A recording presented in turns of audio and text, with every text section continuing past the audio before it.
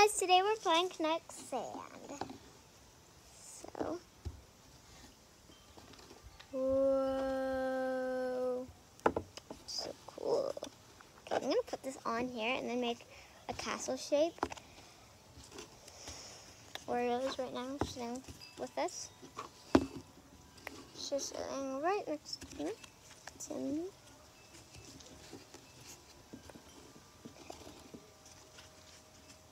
So this is how it is so far. And we need to just flatten it out a little bit, and then we're gonna, oh, it'll be, okay, we need to pat it with a paintbrush, because we have a lot of paint.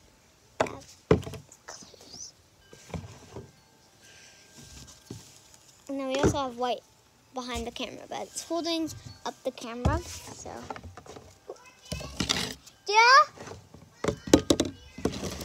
I'm not coming. Ora's coming.